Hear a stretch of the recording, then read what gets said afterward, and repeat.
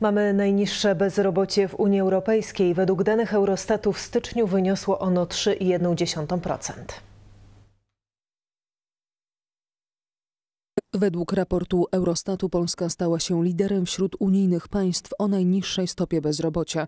Styczniowy wynik 3,1% w przypadku naszego kraju przekłada się na 531 tysięcy bezrobotnych.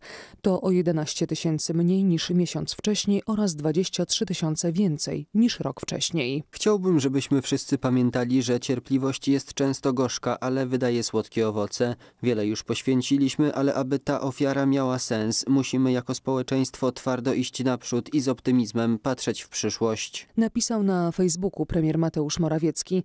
Szef rządu zaznaczył, że w tym roku Polska ma duże szanse na dynamiczny wzrost gospodarczy. W podpisanej przez prezydenta Andrzeja Dudę ustawie budżetowej założono, że w ujęciu realnym PKB wzrośnie w tym roku o 4%.